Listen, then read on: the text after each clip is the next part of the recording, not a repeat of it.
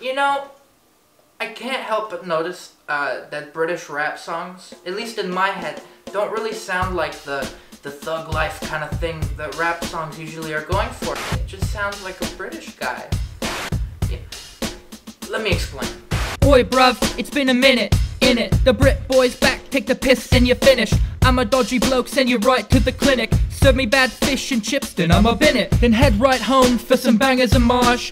Teeth look gross like I'm chewing on glass. Don't be a tosser or I'll kick on your ass. I'm a distinguished Englishman with a sick mustache. We don't get in a line, we get in a queue. We won't be wasting our time in a line for the loot. Give your mother a quid, then I give her the due. And then we make another cheeky bugger just like you. Boom!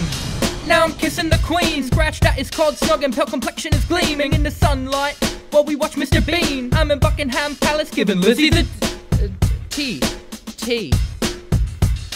Tea. Hashtag clean for the queen. No swears up in here. Um, if if you're you if you were offended by this, um, I can assure you my family is British, and uh, they're gonna be plenty pissed. Uh,